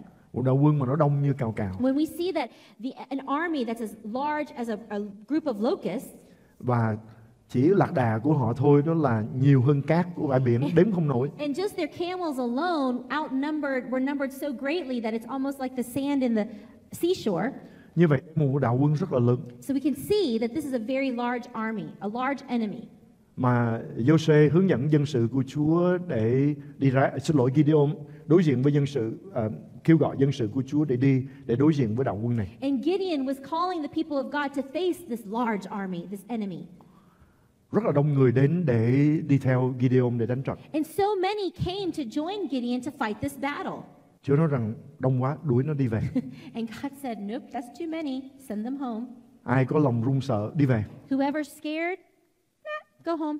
Ai không có sẵn sàng chiến đấu đi về. Whoever's not ready to fight, eh, go home. Mấy chục ngàn chúng ta thấy nó nhỏ dần. Hundreds and thousands, we begin to see those numbers go down and down. Rồi cuối cùng Chúa bảo phải thêm một cái gạn lọc nữa. And then God said, There's one more requirement. Dắt nó xuống. Take them down to the to drink. Và cuối cùng thì chỉ còn có 300. And then in the end, there was only 300 left. 300 mà đối diện với một đạo quân nội có xe của nó tức là lạc đà ngày xưa đó mà nó nhiều đến cái độ như là cát bề biển đếm không nổi Only 300 warriors to fight against an army that even their own camels that they were riding on were so many that it was greater than the number of sand on a seashore. cho nên đức tin của Gideon bị thách thức So you have to see that Gideon's faith was challenged. nhưng mà Chúa có cái chương trình của But Ngài God had a plan. Ngài đã cho một người lính của Madian thấy một giấc chim bao He saw he allowed the Midian, The Midian the. Midianite soldier to have a dream. Và cái giấc mơ đó là một giấc mơ cũng rất là quái lạ And that dream was really odd. nhưng mà ý nghĩa của cái giấc mơ đó cái giấc But chim bao đó meaning of that dream đã làm cho cuộc chiến được thay đổi caused the battle to change, the results to change. Chúa về Gideon đi đến gần trại quân của Madian để nghe những điều mà ông cần nghe. So the Lord told Gideon, Go over to the Midianites so that you can hear what you need to hear. Với một cái đạo quân đông như vậy, And with such a vast army, câu số 13 ghi, the verse 13 tells us, khi Gideon đến nơi, có một người thuộc lại giấc chim bao cho bạn của mình rằng, này tôi nằm mơ, thấy một ổ bánh bằng bột lúa mạch lăn vào trại quân Madian. Nó lăn đến đụng vào trại, làm cho trại ngã nghiêng, lật ngược rồi sập xuống. As Gideon arrived, he arrived just as a man was telling a friend in his dream, telling a friend his dream. I had a dream, he said. A round loaf of barley bread came tumbling into the Midianite camp. It struck the tent with such force that the tent overturned and collapsed. Một cái ổ bánh We're talking about a loaf of bread. lăn vào, đụng vào ở trong cái cái trại của đạo quân that came over, rolled over, and rolled into the enemy's camp, Midianites' camp.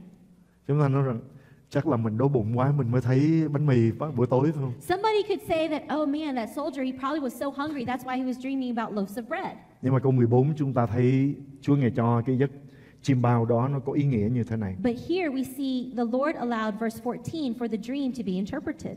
Người bạn nói điều này không gì khác hơn là gươm của Gideon, con trai của Joach, người Israel.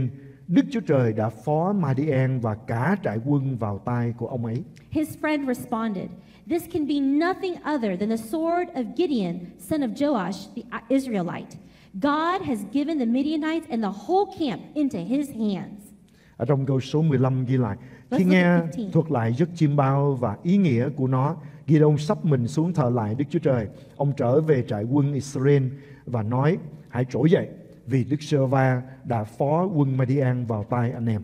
Let's look at verse 15. When Gideon heard the dream and its interpretation, he bowed down and worshiped. He returned to the camp of Israel and called out, Get up! The Lord has given the Midianite camp into our hands. Ông chia 300 người làm ba đội, phát tù và bình rỗng với đuốc ở bên trong cho mỗi người. Hãy xem và làm đúng như tôi làm. Khi tôi đến đâu đầu trại quân, anh em hãy làm theo tôi. Và câu 18, khi tôi và những người theo tôi thổi tù và, thì anh em cũng hãy thổi tù và khắp xung quanh trại quân và hô lên vì Đức Giê-hô-va và vì Gideon. Let's start with verse 16. Dividing the 300 men into three companies, he placed trumpets and empty jars in the hands of all of them with torches inside. Watch me, he told them. Follow my lead. When I get to the edge of the camp, do exactly as I do. When I and all who are with me blow our trumpets, then from all around the camp, blow yours and shout, For the Lord and for Gideon. Chúng ta thấy cái giấc chim bao dường như vô nghĩa phải không? We think that as we hear the description of the dream, that it has no meaning. Một ổ bánh lăn xuống đụng vào trong cái liều trại của quân Median A loaf of barley bread rolling into the Midianite camp. Và làm cho cái liều đó nó lật. the tents to fall over. Nhưng mà trong góc nhìn của Đức Chúa Trời But from God's perspective, thì chúng ta thấy rằng sự chiến thắng sắp xảy ra. then we see that victory is about to happen. Và Chúa bảo Gideon hãy đi đến và nghe những điều mà dân Median nói chuyện với And nhau. God told Gideon, Go, go over near the Midianites and listen to what they're talking about. Và Gideon đã được khích lệ rất nhiều And khi ông Gideon nghe was encouraged when he heard about this dream. Đó là Đức Chúa Trời có thể đặt cái giấc mơ chim bao trong lòng của người lính Madian này. And that is that God could give a dream to one of the Midianite soldiers. Và cái giấc mơ này được hiểu là Đức Chúa Trời đã phó dân Madian vào trong tay của Gideon. And the interpretation of the dream is that God was going to deliver the Midianites into the hands of Gideon. Khi nghe được những điều này When he heard this, Gideon, thì lòng của Gideon được phấn chấn và ông được khích lệ. was so encouraged and strengthened. Đức tin của ông gia tăng. His faith increased. Ông nhìn thấy một đạo quân rất là lớn. He saw this huge army. Nhưng mà khi ông nghe những điều này But when he heard about the dream, thì ông thấy rằng nếu Đức Giê-hô-va đã giao người Madian vào trong tay đạo quân Madian vào trong tay của ông then Gideon started to think if God is going to deliver the Midianites into my hand, thì với 300 người cũng có thể đánh hạ một số đông lớn quân đông đông đảo như vậy. then I know that 300 soldiers can certainly defeat that vast army. Gideon có thể cảm nhận được những gì Chúa ngài cảm nhận Gideon began to receive what God was telling him. và ông nhận biết một điều rằng Đức Chúa Trời ngài cầm quyền tể trị. And Gideon knew that God was sovereign. Ngài có thể đặt một cái giấc mơ trong lòng của một người lính của đạo quân thù. that God could put a dream in his enemy's heart while he was sleeping và khiến cho người đó hiểu được cái giấc chim bao đó. and caused his enemy to understand that dream. Và khi ý nghĩa của cái giấc chim bao này được chia sẻ ra And when the meaning of that dream began to be shared around, thì chúng ta thấy rằng đạo quân Median đã đầu hàng từ ở trong tư tưởng của họ rồi. so we are we can see that the Midianites had already surrendered in their mind before the battle begun. Và Chúa ngài có một cái chiến thuật của ngài So we see that God has his own strategy. với 300 người 300 people cầm 300 cái tù và holding 300 trumpets. so far. So far, shofars. Sorry. Một cái bình đất And an empty jar. rồi có cây đuốc ở trong And it đó. has a torch in it. Khi mọi người thổi tù và cùng một that lúc whenever they were blowing those shofars all at the same time, và họ đập bể cái bình, and they broke their jars, tiếng vang dội chung quanh trại that sound began to echo throughout the enemy's camp. Và thấy lửa rực sáng lên We saw that the fire began to go high and glow. thì chúng ta biết rằng dân đạo quân Madian đã rối loạn. Then we know that the Midianites were very confused. Anh chị em yêu dấu của tôi, My brothers and sisters who I love so dearly, Gideon nhận được lời hứa tiên tri mà Đức Chúa Trời đã mặc khải qua giấc mơ. Gideon was able to receive the promise, the prophetic promise of God through the dream. Và ông đã hành động theo như sứ điệp của giấc mơ đó. And he acted upon the revelation that the dream provided. Gideon đã biến giấc mơ thành hiện thực. And he caused that dream to come to pass. Đây là điều mà chúng ta cần tấn tới trong ơn của Chúa. So that what we need to learn from this to move forward in the Lord is những cái giấc chiêm bao những giấc mơ của chúng ta that the dreams that we're having, nó có thể là nghĩa đen hay là nó là một cái ẩn dụ it could be black and white, a simple interpretation, literal, or it could be symbolic. nó có thể là những cái điều rất là đơn giản dễ hiểu hay là một biểu tượng mà chúng ta cần sự soi sáng của Chúa. It could be a very simple dream that's very easy to understand and interpret, or it could be full of images, of symbolism that take time for interpretation. nhưng mà chúng ta cần biết một điều rằng Chúa có thể đang phán dạy chúng ta. But what we have to remember is that God can speak to us through dreams, Ngài đang chuyển tải những lời khôn ngoan và tri thức cũng như ân tứ đến cho chúng ta. And that He is imparting words of knowledge and wisdom and even spiritual gifts to us as we dream. Ngài có thể bày tỏ chúng ta những sự khôn ngoan He could give us wisdom. Chúng ta nhớ Chúa Ngài đã đến và nói với La-ban là cha vợ của Gia-cốp là khi nói chuyện với Gia-cốp ngươi không được nói bậy, ngươi phải lựa những cái lời đúng đắn để nói chuyện với Gia-cốp We see in Scripture that God spoke to Laban, who was in a dream. in a dream, uh, Jacob's father-in-law, Yeah. father-in-law, that when you come and you talk to Jacob, don't talk weird, funny stuff, bậy, weird, like bad, Wrong. Yeah. wrong. Vietnamese language is beautiful. So- Và chúng ta thấy tại đây là La-ban đã làm giống như vậy, đúng but như we vậy. see that Laban obeyed the dream that he got. Và cũng ở trong giấc chim bao, That it, also in a dream, Chúa Ngài đã chỉ cho Gia-cốp cái cách để ông có thể hưởng hết tất cả những công sức của mình đã từng làm không công cho cha vợ của mình. God also gave Jacob the strategy to be able to obtain all the things that he had worked for over all the years. Chỉ ông là cách nào để ông có thể chọn những con chiên có gằn có đốm để nó started to thuộc về show ông. him how to choose which chiang lambs that were had dots or Stripes. stripes. Thì chúng ta thấy tại đây là lần đầu tiên Đức Chúa Trời bày tỏ một cái một cái à, kế hoạch thương mại rất là chính xác để Gia cấp có thể trở nên người giàu có. And we see here, this is the first time in Scripture where God is able to reveal a very specific strategy um, to gain Wealth. wealth. Chúng ta thấy việc thấy dường như là không thể xảy ra được. We think that this could never happen, Nhưng mà bởi sự khôn ngoan của Đức Chúa Trời ban but cho Gia Jacob, khi ông đến nói chuyện với cha vợ của mình, when he went to go talk to Laban, ông nói rằng tất cả những con chiên mà lông của nó thuần một màu đó, nó thuộc về cha. he came to Laban. He said, You know, all the lamb, the sheep that are all one color, monochromatic, they can be given to you. Còn con nào có gằn có đốm nó thuộc về con. But whatever ones have dots or stripes, they're mine. Và ban nói trong lòng cái thằng này nó ngu quá, nó chết rồi. And Laban started saying in his mind, This guy's very foolish. Oh, no, no. Nếu mà ông bắt hết tất cả những con có gằn có đốm ông nhốt đi chỗ khác đó thì là chắc chắn rằng tất cả chiên sẽ thuộc về ông. Laban? Yeah, Laban.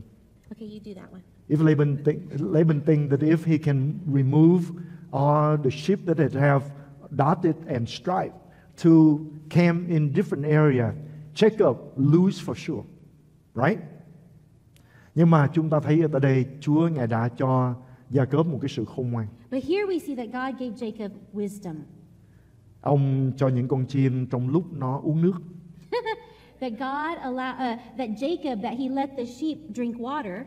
và ông lấy những cái nhánh cây ông khắc những cái sọc những cái vằn ở trên những cái nhánh cây đó ông để trong cái máng nước cho chiên trong lúc nó uống nó nhìn thấy And so that when he cut these stick. Sticks in circles and stripes, and that as the sheep would look at, and put them in the water, so as they were drinking, the sheep would see these sticks that were already cut. và những gì những con chiên cái này mà nó thấy đó thì nó sanh con ra sẽ giống như vậy. And so, whenever they were drinking it, the mamas that were had were pregnant with lambs, that they would give birth to lambs that looked like that, và việc nó đã xảy ra như vậy and that's what happened. một lần nữa một cái chiến thuật mà chúng ta thấy Chúa ngài đã dạy sự khôn ngoan mà bình thường không ai nghĩ ra được And again, we see here this strategy, this divine strategy from the Lord that mankind could not even fathom. là trong lúc những con con chiên cái này nó có mang và nó nhìn thấy à, những cái nhánh cây như vậy những cái cành cây nhánh gỗ ở trong cái máng nước của nó như vậy thì nó sanh con ra toàn là sọc và đốm I mean, who could imagine that as these pregnant sheep and they were drinking water and saw the dots and the stripes in the water, that they would actually cause the, the lamb in their womb to have stripes and dots? Và thật như vậy, kể từ đó thì bầy chiên của La-ban mà Gia Cớp chăm sóc đó, bây giờ sanh ra toàn là những con có đốm có sọc không. And truly, all of Laban's sheep that were all white, then the ones that they gave birth to all had dots or stripes. À, cuối cùng thì Gia Cớp trở nên rất là giàu And có. in the end, Jacob became very wealthy. Ông đã thấy ứng nghiệm những điều Chúa đã hứa với ông trong một giấc mơ khác khi ông gặp Chúa ở tại Bê-tên. And he also was able to see a promise fulfilled that God had given him in a dream when he arrived to Bethel. Anh chị em thấy đây cũng là một cái nguyên tắc rất quan trọng để nhắc nhở chúng this ta. is a very key principle that we have to remember. Cái sức mạnh của những gì chúng ta thấy chúng ta sẽ trở nên. The power of what we see, what we imagine, we will become. Đó lý do mà Chúa Ngài vẽ lên trong chúng ta và cho chúng ta trong tâm trí chúng ta luôn cả trong giấc ngủ những sự hiện thấy. And that is why God speaks to us. He allows us to think, and even in the times of our dreaming, that He gives us images. Chúa cho chúng ta những gì chúng ta thấy chúng ta sẽ trở nên. Because He knows that whatever we can see, we will become. Nếu suốt đời chúng ta thấy mình là nghèo, không có đủ ăn, If không có all đủ your mặc, life you keep thinking, oh, I'm so poor, and all you can envision is that I don't have enough to eat, I don't have enough clothes to wear, thì những gì chúng ta thấy chúng ta sẽ trở nên. whatever you see, you will become. Và nếu chúng ta nhận được sự mặc khải từ nơi Chúa, But if you receive revelation from the Lord, đó Chúa muốn con cái của Ngài giàu có thịnh vượng, and that is that God wants His children to be prosperous bởi vì Ngài ban phước cho chúng ta. because He gives, He blesses us. Nếu chúng ta thấy được Chúa Ngài nói rằng dân của Chúa sẽ đứng đằng đầu chứ không phải đứng đằng đuôi, And so if the word of God tells us, He lets us see that His children will be the head and not the tail, mình sẽ cho người khác vay mượn chứ mình không đi that we mượn của will be ai. the ones who are giving and blessing, not the ones who owe debt, Luôn ở trên cao chứ không về về dưới thấp. that will always be on high and not the bottom, Thì dân sự của Chúa sẽ trở nên như vậy. then the God, God's people will become that. Anh chị em có hiểu nguyên tắc Do you này? understand this principle? Mấy con chiên mà nó còn những gì nó thấy The nó trở nên. whatever they saw, they became, they gave birth to. Huống chi là chúng ta. So, of course, what about mankind? Cho nên khi Chúa Ngài bày tỏ chúng ta trong chim bao, trong khải tượng So then when God reveals something to us, images in our dreams and visions, là Ngài đang chuyển tải vào trong He is chúng ta imparting into us những cái hình ảnh, images, những đường lối của Chúa, His ways, những sự khôn ngoan và tri thức. His wisdom, His knowledge. Và có những trường hợp Chúa Ngài cho chúng ta những điều để báo trước cho chúng ta về And tương lai some của chúng ta. cases, the prophetic word to let us know what's going to happen in the future. Một câu chuyện khác mà chúng ta nhớ rằng nó cũng diễn ra trong giấc chim bao. Another story that we see happens in a dream. Đó là Abraham, Chúa Ngài gặp ông trong giấc chim bao. That's Abraham. God met him in a dream. Ông là người giàu có, He was a wealthy man, a rich man. ông có đủ thứ hết, He had everything he needed, nhưng mà ông không có con để nối dõi. but he didn't have any children. Và Chúa Ngài đã thăm viếng ông trong một giấc chim bao. So God visited him in a dream Chúa báo cho ông biết rằng ông and sẽ có con. that you're going to have a child. Và Chúa Ngài cho ông biết trước nữa đó là dân sự của ông, dòng dõi của ông sẽ ở nơi xứ người trong 400 năm làm nô lệ. And God also told him that he would leave a legacy and that he would have so many children, as many as the stars in the sky, and that um, in 300 years they would become, Four- 400. 400 years, they would become slaves in Egypt. in Egypt. Rồi sau 400 năm đó, And after those 400 years, họ sẽ trở về xứ sở mà Chúa Ngài ban cho homeland, the land that God gave them, là đất hứa mà Chúa Ngài đã ban cho land that God gave them. Và như vậy chúng ta thấy một dân tộc đã được thành lập. So we see here that through Abraham, a peoples were created, Một dân tộc established, được tuyển chọn của Chúa đã được thành lập. an established people, the chosen people of God. Một dòng lịch sử của 400 năm được Chúa Ngài bày tỏ That ra. in history, a historical time of 400 years, God had revealed that. Và lời hứa của Chúa đối với Abraham And that promise that God gave Abraham, chuyện trọng đại cho một dân tộc. that It's important. that's very important for a people, Tất cả đều được bày tỏ trong giấc chim bao. all of it was revealed to uh, Abraham in a dream. Amen. Amen. Tôi hy vọng anh em cho đến giờ xuống này được thuyết phục. Ồ, Chúa có thể làm việc trong lúc tôi đang ngủ. I hope by now that you have come to the understanding and are excited that God can speak to you in a dream. Amen. Amen.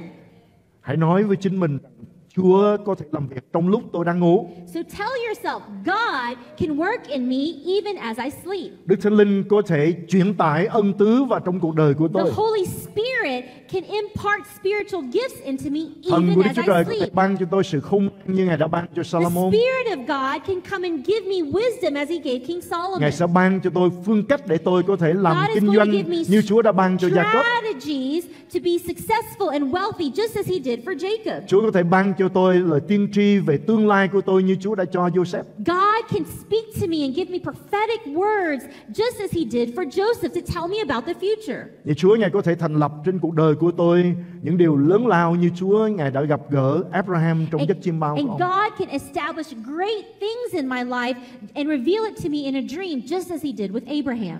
Ngài có thể giúp cho để tôi có thể kinh nghiệm được sự đắc thắng bởi vì Ngài có thể phó một đám dân đông đảo, một đoàn quân đông đảo ở trong tay của Gideon bởi vì Ngài báo cho họ biết một giấc chim bao. And God, whenever I face an enemy or a challenge, I can recognize that as God gave a dream to a Midianite soldier that caused the entire vast, large, huge army to be surrendered into the hands of Gideon, that can be done for me.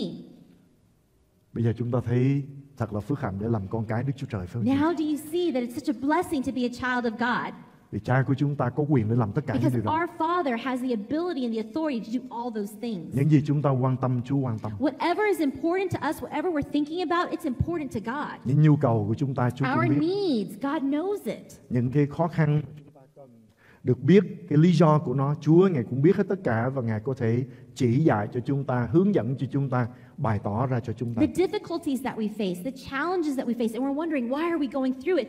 God can reveal the why, the purpose in it in our dreams. Để chúng ta lùi lại cả kinh thánh để chúng ta thấy sự mặc hại của Đức Chúa Trời. Whenever we take a step back and we look at the entire body, Bible, we see the revelation of God coming Để giúp đỡ cho chúng ta. to help us. Lời của Chúa đã cho chúng ta biết đoạn kết của lịch sử của nhân loại.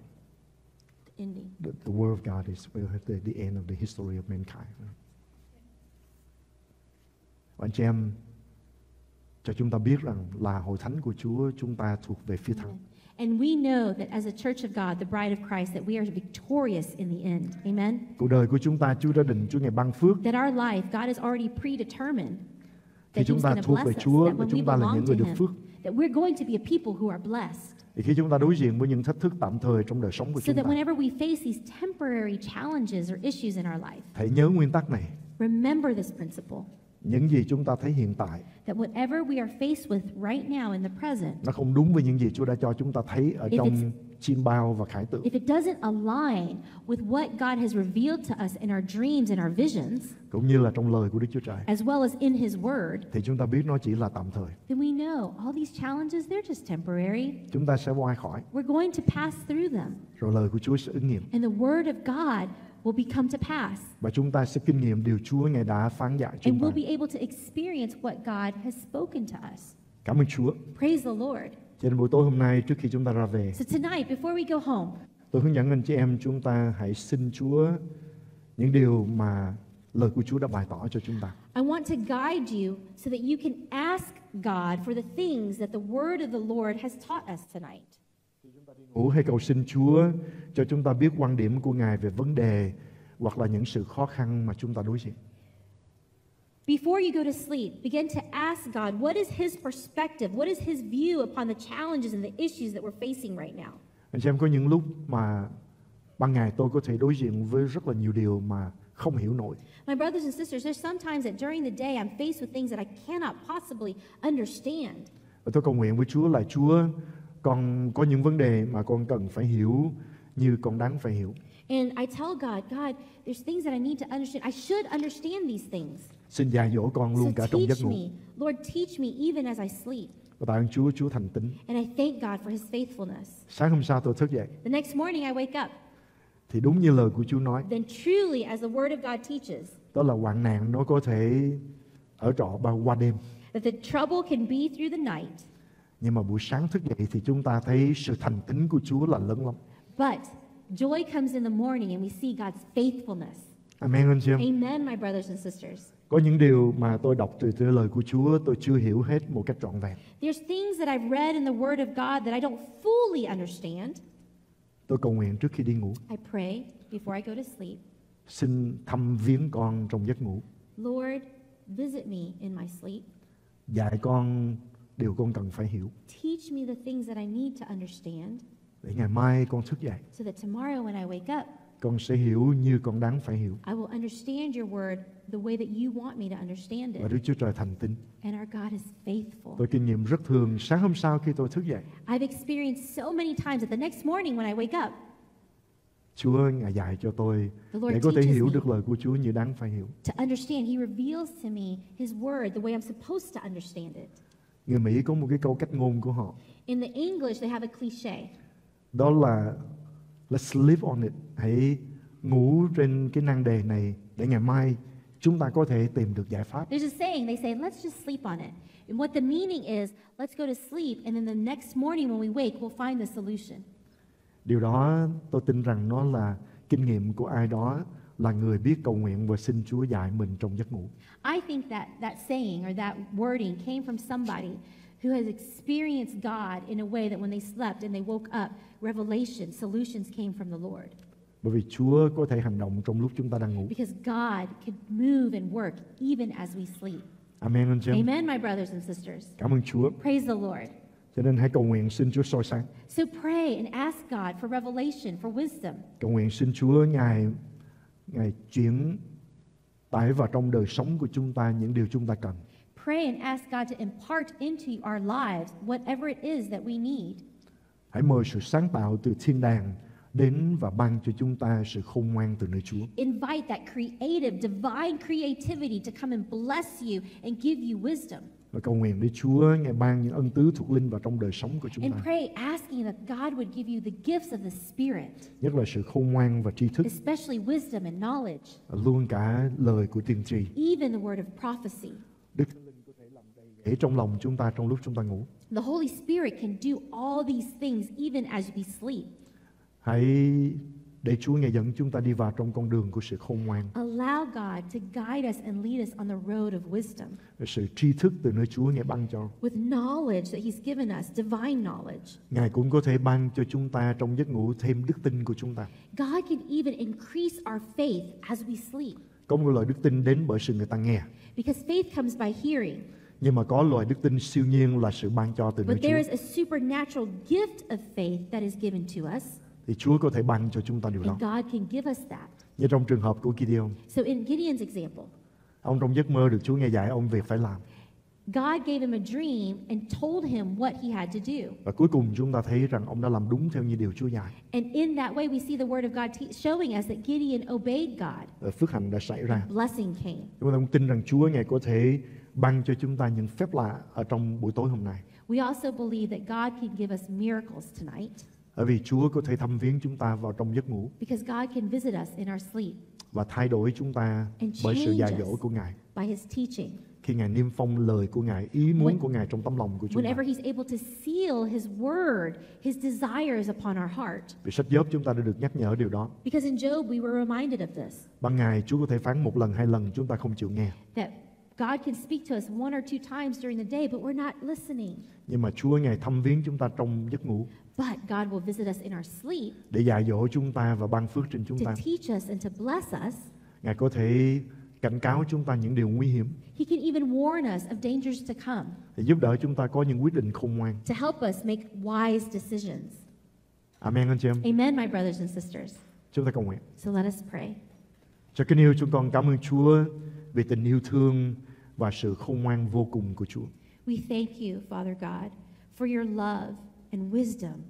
Chúng con cảm ơn Chúa vì Ngài là Đức Chúa Trời toàn tri, biết hết tất cả mọi We sự. thank you, Lord, that you're omniscient, that you know everything, Ngài cũng là Đức Chúa Trời toàn tài. that you're also a God who is over all things sovereign. Cảm ơn Chúa vì Ngài sẵn lòng giúp đỡ chúng con cho những điều chúng con cần. Lord, we thank you because you're always ready to help us whenever we're in need. Chúng con cảm ơn Chúa Thánh Linh vì Ngài là thần khôn ngoan của Đức Chúa Trời. We thank you, Holy Spirit, because you are a spirit of wisdom, Luận của Đức Chúa Trời. that you are a, a spirit of, of Counsel. Counsel. counsel. Chúng con cảm ơn Chúa vì Ngài có thể thăm viếng chúng con để chuyển tải ơn của Ngài trên cuộc đời của chúng con. And we thank you, Lord, that as you visit us, that you are able to impart gifts into us. Con cầu nguyện kể từ tối hôm nay, I pray, Lord God, that from this night moving forward, tất cả những anh chị em của chúng con là những người biết và trân quý ngôn ngữ của Đức Thánh Linh trong chim bao và khải tượng. all my brothers and sisters who have now come to value the language of images that come in dreams and visions, Chúa Ngài sẽ ban phước trên chúng con và hành động trong lúc chúng con ngủ. that you will bless us and move in us, work in us as we sleep, Để một phần ba cuộc đời của chúng con so that a third of our life không bị phí phạm will not be wasted, nhưng sẽ là một ngôi trường but it will be an opportunity, an environment để Đức Thánh Linh có thể dạy dỗ chúng the con. Holy Spirit can teach us. Xin ghi danh chúng con vào trong trường của Thánh Linh trong buổi tối hôm nay. So register us, God. Sign us up for the school of the Holy Spirit. Thánh Linh ơi, xin dạy chúng con. Holy Spirit, teach us. Để ngày mai chúng con thức dậy, So that tomorrow when we wake up, chúng con là những con người có một môi miệng đã được dạy dỗ that we are a people that have been taught một tâm trí được Chúa Ngài soi sáng with a mind that has had revelation from you. và những sự sáng tạo từ nơi Đức Chúa Trời của chúng con có thể đầy dẫy trong tấm lòng của And chúng that con. all the creativity of our Father God can be filled in us Để chúng con có thể đón nhận sự chuyển tải so từ that nơi we can Ngài receive the impartation that you have for để us. sống một đời sống tràn đầy phước hạnh To live the kind of life that is full of abundant blessings và làm nguồn phước cho muôn người. so that we can be a blessing to Chúng the con cảm ơn nations. Ngài. We thank you, Lord. Và chúng con cầu And nguyện we pray all these things trong danh Chúa Jesus in Christ. Jesus' name. Amen. Amen. Amen. Cảm ơn Chúa. Amen. Praise the Lord. Anh chị em được phước không? Are you blessed tonight? Hãy cầu nguyện xin Chúa cho chúng ta nhiều giấc mơ nữa ở trong ơn của Chúa. I encourage you to pray and ask God to give you even more dreams in the days to come Bởi vì Chúa rất muốn ban cho chúng ta. because God really wants to give it to you. Và bây giờ chúng ta biết để chúng ta xin, And now we know how to ask để chúng ta có thể mong đợi. so that then we can wait with expectation Chúa sẽ ban cho chúng that ta. God will bless us. Chúa cùng anh chị em, May God be with you. hãy nói như người Mỹ nói, dream on. And just say as the English people say, dream on. Amen anh chị em. Amen. Và trong Amen. những giấc mơ đó, chắc chắn dreams, có những chim bao Chúa Ngài dạy dỗ chúng ta. there's going to be things that God teaches us. Amen. Amen. Anh chị em thấy được sự dạy dỗ, động chạm thăm viếng từ Chúa qua bài giảng của mục sư, nhớ hãy chia sẻ video trên mạng cộng đồng cho nhiều người được biết. Chúa yêu bạn rất nhiều.